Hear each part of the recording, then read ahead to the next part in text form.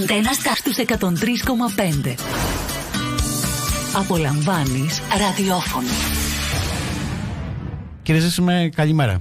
Καλημέρα σε εσάς και στο ακροατήριο σας. Σας καθυστερήσαμε λίγο, αλλά θε- ε, ήθελα να ακούσετε ε, αυτά τα οποία μας είπε ο κύριος ε, Σάβας, τα οποία αφορούν ειδικά στο ψωμί, αλλά είστε κι εσείς ένας ενεργός πολίτης και, και καταναλωτής με την ακρίβεια.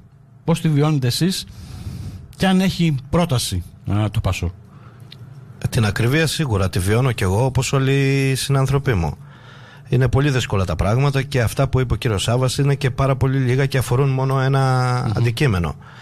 Ε, εκτίμηση δικιά μας και προτάσεις που έχει κάνει το Πασόκ είναι ότι αν δεν μειωθεί ο φόρος κατανάλωσης στα τρόφιμα και στην ενέργεια ε, θα είναι πάρα πολύ δύσκολο στη συνέχεια να μπορούν τα νοικοκυριά να ανταπεξέλθουν.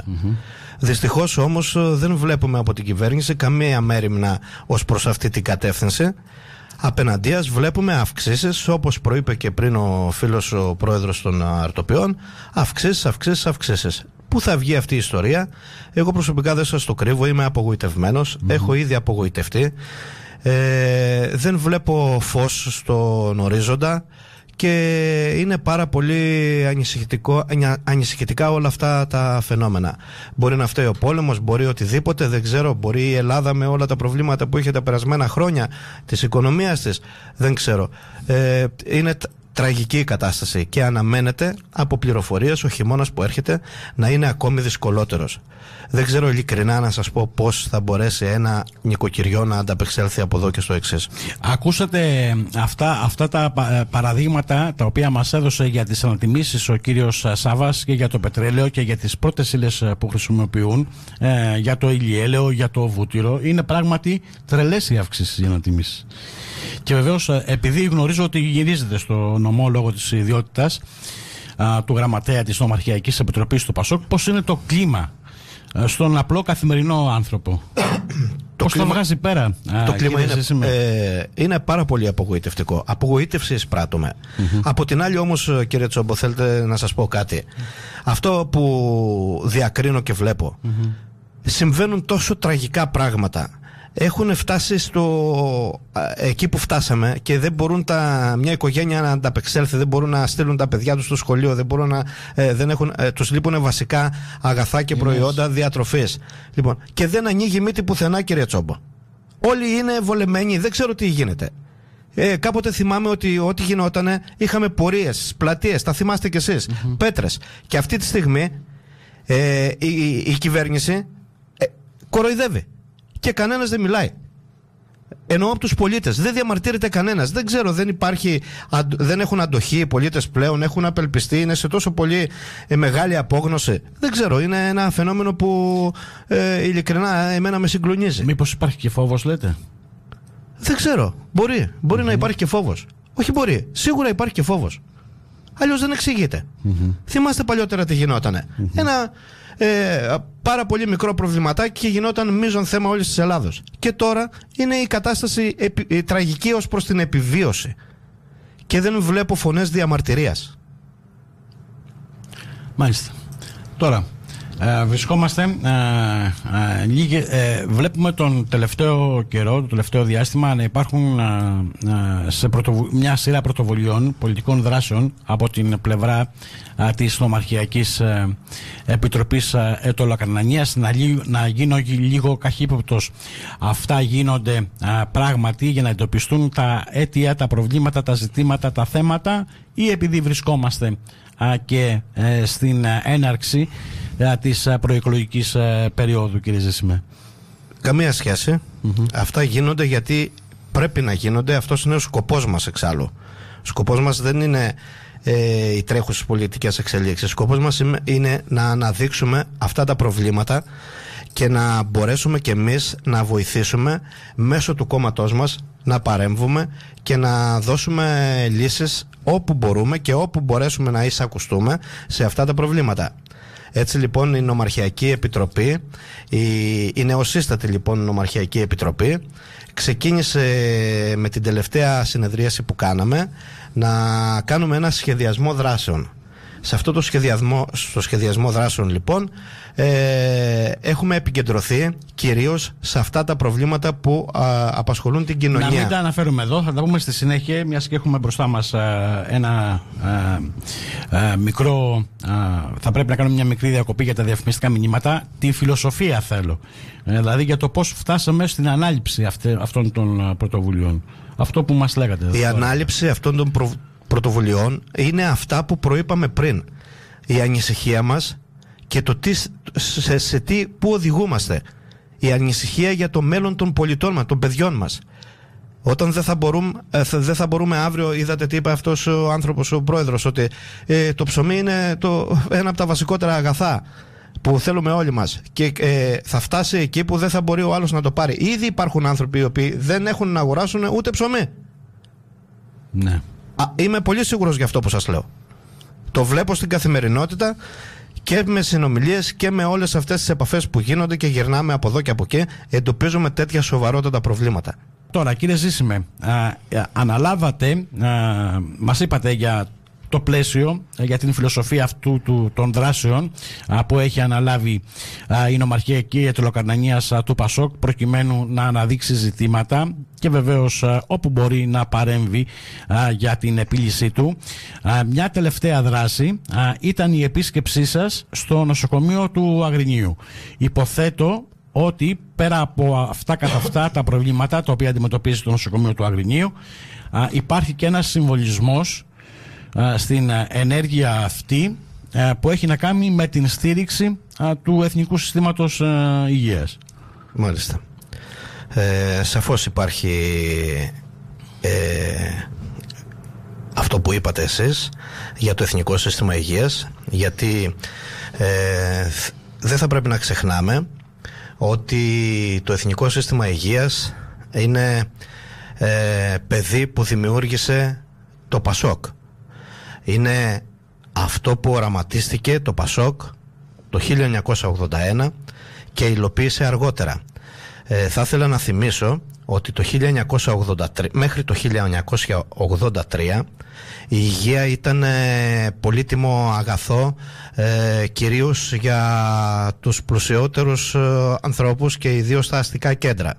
Στην επαρχία οι άνθρωποι όπως ξέρετε και εσείς και γνωρίζετε ήταν Έτσι λοιπόν ε, ο Ανδρέας Παπανδρέου και το Πασό κοροματίστηκε ε, αυτό το Εθνικό Σύστημα Υγείας το υπέγραψε το 1983 ο Παρασκευάς Αυγερινός και ανατέθηκε μετά στα χέρια του Γιώργου Κενηματά η υλοποίηση του οράματος αυτού που έγινε με πολύ μεγάλη επιτυχία βοήθησε πάρα, πάρα πολύ τον κόσμο. Ε, η υγεία πλέον να είναι αγαθό ε, για όλους τους πολίτες και όχι μόνο για τους πλούσιους.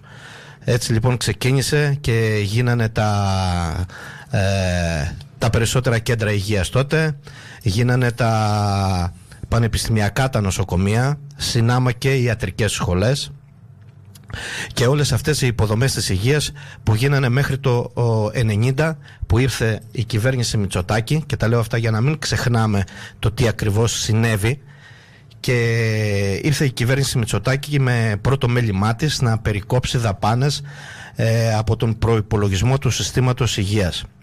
Ε, ερχόμενος μετά ξανά το Πασόκ στην, στην εξουσία συνέχισε το έργο του με την ε, κατασκευή πολλών νομαρχιακών νοσοκομείων. Ένα από αυτά τα νοσοκομεία λοιπόν ήταν και το δικό μας νοσοκομείο το οποίο εκτιμώ ότι είναι στολίδι για την περιοχή μας και θλίβομαι ειλικρινά που έχει χαθεί κατά την άποψή μου η εμπιστοσύνη των πολιτών απέναντι σε αυτό το νοσοκομείο για χι λόγους που είναι πάρα πολλοί.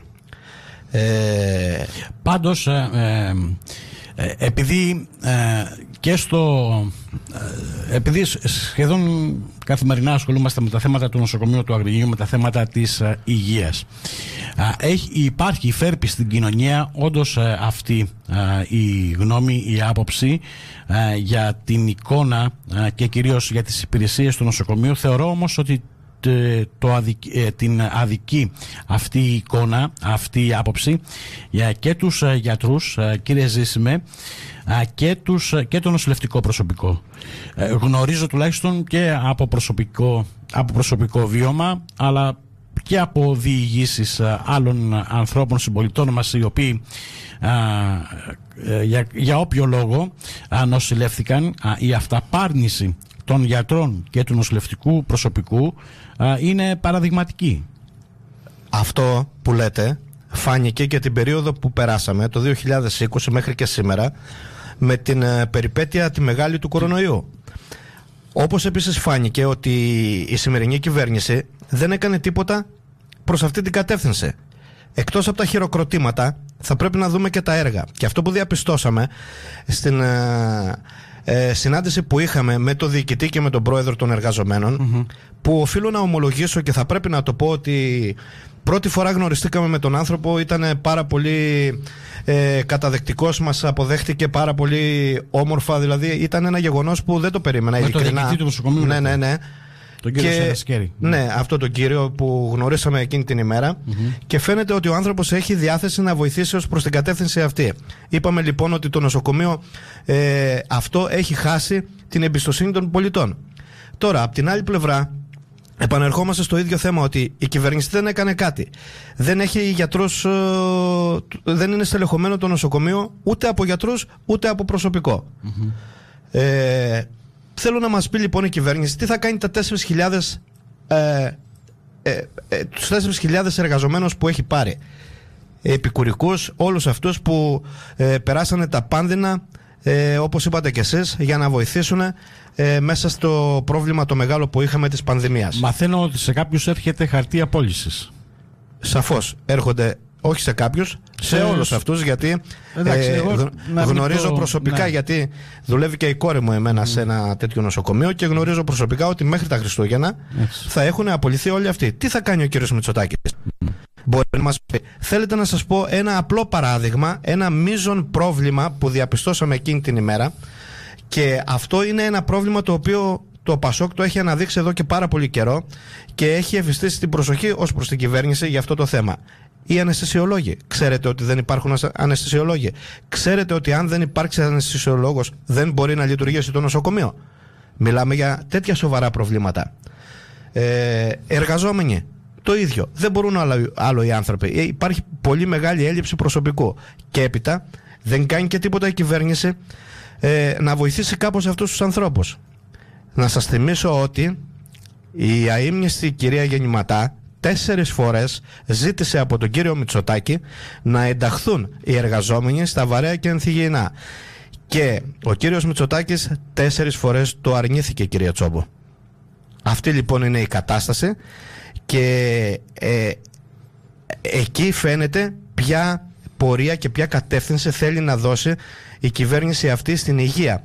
Και αυτό το λέω γιατί με διακόψατε πριν που έλεγα για το ΕΣΥ και για να μην πω κι άλλα για το ΕΣΥ γιατί δεν τελειώνουν. Είναι πάρα πολλά αυτά που έγιναν επί της κυβερνήσεως του Πασόκ. Αποκορύφωμα ήταν πριν τον α, κορονοϊό ο σχεδιασμός του κυρίου Μητσοτάκη, αν θυμάστε καλά, που ήθελε σε ένα κορυφαίο νοσοκομείο της Αθήνας να κάνει ένα πρόγραμμα πιλωτικά πώς θα μπορεί να συνδιοικηθεί ένα μεγάλο νοσοκομείο με ιδιώτες. Δεν ξέρω αν το θυμάστε Θα πρέπει να το θυμίσουμε. Άρα λοιπόν, με όλα αυτά που συμβαίνουν και με καμία ε, πρωτοβουλία από την κυβέρνηση ως προς την κατεύθυνση αυτή, εμένα το μυαλό μου τρέχει αλλού. Το πού πάει η υγεία. Πράγματι θέλει να ιδιωτικοποιηθεί η υγεία. Πράγματι είναι μια κρυφή υπόσχεση μνημονίου και δεν το ξέρει κανένας. Εγώ κακοπροαίρετα σκέφτομαι Και πόσο μάλλον όταν επί των κυβερνήσεων της Νέας Δημοκρατίας γινόταν αυτές οι περικοπές που είπα, όπως έγιναν και μετά το, και το 2004, το ίδιο έγινε ξανά όταν ανέλαβε η Νέα Δημοκρατία. Άρα λοιπόν οδηγούμαστε, το, το μυαλό το δικό μου τουλάχιστον οδηγείται ως, ως εκεί. Πού πάει το θέμα της υγείας ο κύριος Μητσοτάκης. Τώρα, να βάλω και μια άλλη διάσταση. Προφανώς και το ζήτημα της υγείας σε ένα τεράστιο νομό όπως είναι η Ετωλοακαρνανία δεν εξαντλείται στα προβλήματα ή στα μη προβλήματα ή στην κατάσταση η οποία υπάρχει στο νοσοκομείο του Αγρινίου. Έχουμε και μια ακόμη μεγάλη νοσηλευτική μονάδα στο Μεσολογγί. Έχουμε και τα κέντρα υγείας που σύμφωνα με όλα τα δεδομένα η κατάσταση εκεί είναι, όχι θα πρέπει να είναι, είναι απαράδεκτη, ενδεχομένως σε κάποιο από αυτά α, τριτοκοσμική. αν αυτή η πρωτοβουλία ε, ε, στήριξης του ΕΣΥ από την Ομαρχιακή Επιτροπή Ετωλοκαρνανίας σταματάς σε αυτήν την επίσκεψη στο νοσοκομείο του Αγρινίου. Όχι, δεν σταματάει ε, εκεί. Η επόμενη μας, δηλαδή ο σχεδιασμός είναι να επισκεφθούμε την επόμενη εβδομάδα το νοσοκομείο Μεσολογγίου και το κέντρο υγείας μιας και είναι στην ίδια κατεύθυνσή μας. Και να συνεχίσουμε να επισκεφτούμε όλα τα κέντρα υγείας. Ε, θα πρέπει να καταγράψουμε όλα τα προβλήματα και να τα μεταβιβάσουμε μετά στο Πασόκ, στην Αθήνα κεντρικά, να γνωρίζουν όλα τα προβλήματα με τις παρεμβάσεις, να δούμε πού μπορούμε κι εμείς να πιεσουμε την κυβέρνηση, γιατί όπως είπα και πριν, στην οικογένειά μας προσέχουμε τα παιδιά μας. Αυτό είναι γνωστό σε όλους, έτσι. Άρα λοιπόν το εσύ είναι παιδί μας και έχουμε ένα λόγο παραπάνω να τρέξουμε και να υποστηρίξουμε αυτό που εμείς γεννήσαμε και μεγαλώσαμε. Ωραία. Πριν περάσουμε σε άλλα ζητήματα, έχουμε αυτή την εκδήλωση αυτό το Σάββατο στο Μεσολόγγι. Ε, είναι 7.30 το βράδυ στο Εργατικό Κέντρο του Μεσολογγίου. Ο, ο εκδήλωση με ομιλητές την κυρία Κατερίνα Μπατζελή και τον κύριο Παύλο Χριστίδη.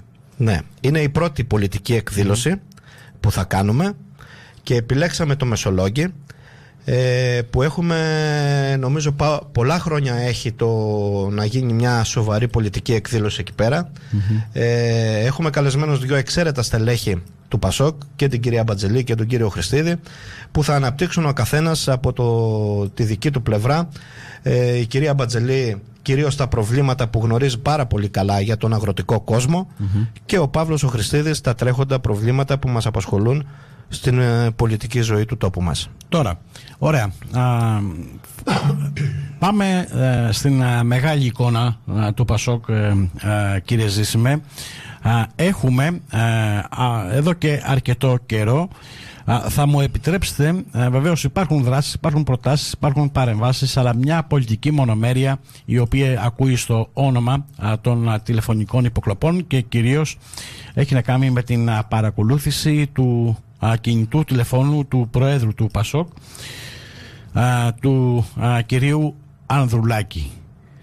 Αυτό γιατί θεωρείτε ότι σας είναι τόσο σημαντικό, τόσο πολιτικό ζήτημα; Θεωρείτε ότι ενδεχομένως να έχετε περισσότερα πολιτικά ωφέλη; Κοιτάξτε να δείτε εγώ αυτό που θέλω να πω επειδή όλο αυτό το διάστημα όλοι ασχολούνται με τις υποκλοπές και με το τηλέφωνο του Ανδρουλάκη.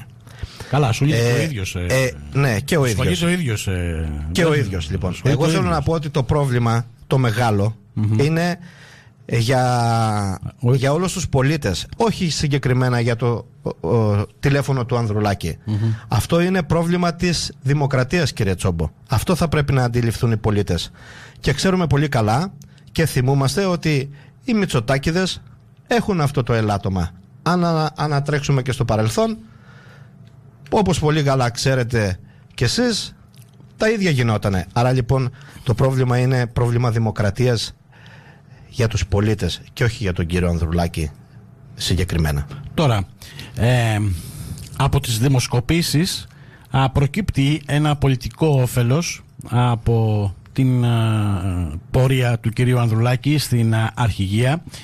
Και, ε, και επειδή είστε και ειλικρινής άνθρωπος αν θεωρείτε αυτό το οποίο αποτυπώνεται ως τώρα τουλάχιστον στις ε, δημοσκοπήσεις είναι θετικό, περιμένετε κάτι περισσότερο; Ε, Κοιτάξτε να δείτε, γενικότερα ε, περίμενα κάτι και περιμένω κάτι παραπάνω και ευελπιστώ ότι θα έρθει. Ε, θέλει εκτιμώ υπομονή και πολλή δουλειά. Το ΠΑΣΟΚ, μην ξεχνάτε ότι έχει ε, πολιτικές θέσεις παντού και στην παιδεία και στην υγεία και στην οικονομία και σε όλα.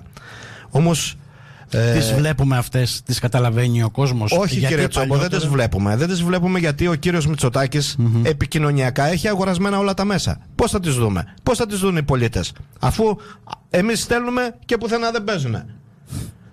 Να μην τρελαθούμε. Ε, αυτή είναι η πραγματικότητα και αυτό γίνεται επί εποχή γεννηματά. Δεν γίνεται τώρα. Έτσι. Αυτό είναι το μεγάλο μας πρόβλημα. Και λέει ο κόσμος δεν έχουμε απόψεις και δεν έχουμε θέσεις και δεν έχουμε. Τα πάντα έχουμε. Δεν παίζουν γιατί τα μέσα είναι πληρωμένα. Κεντρικά δεν θέλω να πω κάτι για εσά. Ε, τι να πάρει, εσεί σας δίνω μικρόφωνο εδώ και λοιπόν, δεν λέτε Ε, αυτό εκτιμώ εγώ. Ο κύριος Μητσοτάκης χειρίζεται πάρα πολύ καλά το επικοινωνιακό ζήτημα και έτσι δεν μπορούν να περάσουν οι απόψεις μας και να φανούν και να δει η κοινωνία και τις προτάσεις και όλα αυτά που έχουμε. Εμείς όμως έχουμε υπομονή και είμαστε σαν τη Λερναία Ήδρα. Ένα κεφάλι μας κόβουνε, θα φυτρώνουν 7. Θα είμαστε εδώ και ο κύριος Μητσοτάκης θα μας έχει απέναντί του σε ό,τι δεν κάνει καλά. Τώρα, α, έχουμε, έχω κάμποσα ερωτήματα, έχουμε ελάχιστο χρόνο όμως ακόμη στην διάθεσή μας. Α, βρισκόμαστε, κακά τα ψέματα και όποιος το παραβλέπει αυτό είναι μακριά από την πραγματικότητα, βρισκόμαστε στην προεκλογική περίοδο. Έτσι δεν είναι; Ναι. και θέλω να ρωτήσω, α, κύριε Ζήσιμε, εάν η Νομαρχιακή Επιτροπή Ετωλοκανανίας του ΠΑΣΟΚ είναι πώς θα πάει προς τις εκλογές, αν είναι έτοιμη και αν υπάρχει εκλογικός στόχος, εννοώ ποσοστό. Γιατί γνωρίζουμε ότι η Ετωλοκανανία πάντα ήταν ένας προνομιακός α, τόπος για το ΠΑΣΟΚ και, και πάντα είναι. τα ποσοστά του τα οποία ε, έπαιρνε στο, σε επίπεδο ετωλοκανανίας ήταν πολύ περισσότερα από τον μέσο πανελλαδικό όρο. Ε, σαφώς και ο προσανατολισμός μας είναι να μεγαλώσουν τα ποσοστά μας. Ε, όπως είπατε στην Ετωλοκαρνανία ίσχυε ανέκαθεν αυτό και ισχύει ακόμη και σήμερα που μιλαμε Και σήμερα που μιλάμε το, η Ετωλοκαρνανία είναι στην τρίτη θέση δημοσκοπικά από όλες τις περιοχές του Πασόκ. Ε, προς αυτή την κατεύθυνση λοιπόν είμαστε κι εμείς και ένα όπλο που θα μπορέσουμε να χρησιμοποιήσουμε πέραν των δράσεων και όλων αυτών που κάνουμε και αναδεικνύουμε τα προβλήματα να έχουμε ένα πολύ καλό ισχυρό ψηφοδέλτιο. Θεωρώ ότι είναι το καλύτερο όπλο σε ένα ε, κόμμα και σε κάθε περιοχή το ψηφοδέλτιο. Ένα ισχυρό ψηφοδέλτιο θα ανεβάσει σίγουρα το ποσοστό παραπάνω από ό,τι είχαμε. Και το πιστεύω και νομίζω ότι είναι εφικτό και μπορούμε να το πετύχουμε. Ένα ψηφοδέλτιο το οποίο είναι ε, έτοιμο. Ε, δεν ζητάω να μου πείτε ονόματα. Κοιτάξτε να δείτε. Δεν ε, γιατί υπάρχει και αυτή η δέσμευση από, το, ότι από τη στιγμή που δεν υπάρχει επίσημη ανακοίνωση από, από την Χαριλάου Τρικούπη. Ναι. Έτσι δεν μπορείτε εσείς να βγείτε να πείτε ονόματα. Ακριβώς. Αλλά θέλω μια αυτή τη στιγμή, εικόνα. Λοιπόν, αυτή τη στιγμή λοιπόν ε, δημιουργούνται οι τομείς στο χώρο του Πασόκ. Μέχρι το τέλος του μήνα θα είναι Οπότε τότε θα έχουμε και το σχεδιασμό και θα μπορούμε να πούμε και περισσότερες πληροφορίες. Ε, θα ανακοινωθούν οι υποψήφοι από ό,τι λέγεται. Αλλά πάντως ε, υπάρχουν ε, υποψήφοι οι οποίοι οι ίδιοι ανακοίνωσαν και σε αυτή την εκπομπή ότι θα είναι υποψήφοι. Ναι. Κύριε Ζέσιμε. Ε, για, να, για να μην κρυβόμαστε και λίγο όχι, πίσω όχι, από το δάχτυλό Όχι, εγώ δεν κρύβομαι. απλά, απλά επειδή ε, από τη θέση μου δεν μπορώ επίσημα εγώ να πω τέτοια πράγματα ναι, ναι, τη στιγμή ναι, που δεν υπάρχει. Ναι. Ε, δεν έχω κάτι επίσημο στα χέρια δηλαδή, μου. γιατί γνωρίζουμε ε, ότι πέρα από τον κύριο Κωνσταντόπουλο, ο οποίος δικαιωματικά θα είναι υποψήφιος ε, ξανά, επειδή είναι ο βουλευτής. Ο οποίος ε, και, έχει και COVID να παρεμπιπτόντω, να σας ναι, πω. Ναι, και να, να το ευχηθούμε περαστικά. Να το ευχηθούμε περαστικά. Ε, έχει ανακοινώσει εδώ από την εκπομπή μας η κυρία Χριστίνα Σταρακά, η κυρία Κατσαρή.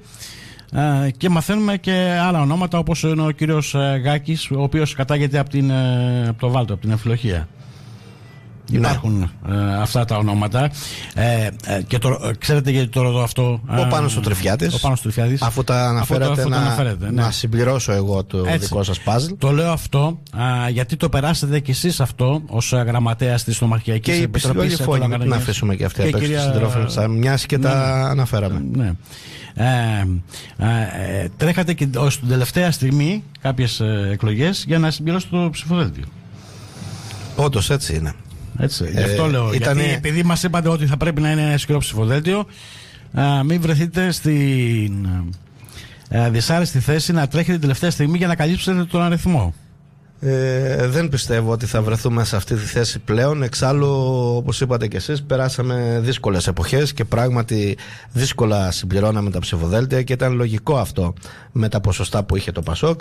Τώρα τα πράγματα είναι Φαίνεται ότι το Πασόκ θα έχει άλλη πορεία, ανωδική πορεία ε, ούτως ώστε είναι και πιο εύκολο να βρούμε και εμείς υποψηφίους. Δεν ανησυχώ για αυτό το πράγμα. Είναι το μοναδικό πράγμα το οποίο νομίζω ότι θα είμαστε πολύ έτοιμοι όταν θα έρθει η ώρα να ανακοινώσουμε ένα ισχυρό Ωραία. Α, τώρα δεν μπορώ, έχουμε ένα-δύο λεπτά ακόμα, α, να μην ρωτήσω τι γίνεται με, τα, με τις εκλογές για την αυτοδιοίκηση. Α, γιατί θα έχουμε εκλογές ε, αυτός στην αυτοδιοίκηση ε, και για τους α, Δήμους και για την περιφέρεια. Δηλαδή έχουμε ένα χρόνο μπροστά μας προκειμένου να τα δείτε αυτά και, και εμείς να τα δούμε αλλά μπορούμε να πούμε κάτι. Μπορούμε να πούμε ότι οι εκτιμήσεις είναι ότι είναι λίγο νωρίς ακόμα. Ναι, καλά, αυτό είπα και εγώ. Έχουμε ένα χρόνο ακόμα. Οπότε είναι το μοναδικό ναι. που μπορούμε να πούμε. Ναι. Σαφώς και θα γίνουν και γίνονται διάφορες συζητήσεις και όλα Νομίζω ότι είναι ε, πολύ καλό να γίνονται. Ανεξαιρέτως το τι θα γίνει μετά. Ε, αφού έχουμε ένα χρόνο μπροστά, να σας το θέσω αλλιώς και να σας το δυσκολέψω λίγο. Είστε υπέρ των ε, συνεργασιών και σε επίπεδο δήμων και σε επίπεδο περιφέρειας και το λωτό αυτό ε, όχι γενικά και αόριστα το ερώτημα μπαίνει ευθέως αν με, ε, είστε ε, πρόθυμος όχι εσείς προσωπικά έτσι, το Πασό και εδώ στην Ατλοκαταγή κεντρικά να υπάρξει μια συνεργασία στη ψηφοδέλτια της αυτοδιοίκησης με τον ΣΥΡΙΖΑ. Εγώ θα πω κάτι άλλο ότι το Πασόκ εγώ έθεσα την ερώτηση, εσείς απαντάτε όπως θέλετε όπως έδειξε όλα αυτά τα χρόνια το Πασόκ ήταν αυτό το οποίο συνεργάστηκε για το καλό της κοινωνίας και της χωρας και ήταν αυτό το οποίο πλήρωσε το τίμημα για τη συνεργασία. Παρόλα αυτά εκτιμώ ότι το Πασόκ πάντα θα είναι ένα συνεργάσιμο και θα προσπαθεί και μέσω συνεργασιών γιατί η δημοκρατία το απαιτεί να έχουμε τις καλύτερες εξελίξεις. Μόνο αυτά μπορώ να πω. Ωραία. Γιατί όπως σας είπα είναι και νωρίς ακόμη. Και Αν κατάλαβα, είναι ορθά ανοιχτή η πόρτα για συνεργασία. Αν κατάλαβα καλά. Και επειδή είστε ε, μπροστά, το ρωτάω. Εγώ είπα ότι εμείς πάντα συνεργαζόμασταν και με τις κυβερνήσεις και βάζαμε πλάτη για το καλό της χώρας και των πολιτών. Ευχαριστώ θερμά κύριε Ζήσιμε. Θα έχουμε την ευκαιρία να τα πούμε. Να είστε καλά και εγώ ευχαριστώ που με καλέσατε εδώ να πω όλα αυτά. Ε, να γνωρίζει και ο κόσμος τι κάνουμε και τι σκοπό έχουμε να κάνουμε στο μέλλον. Ευχαριστώ πολύ. Αντένα Star στους 103,5 Απολαμβάνεις ραδιόφωνο.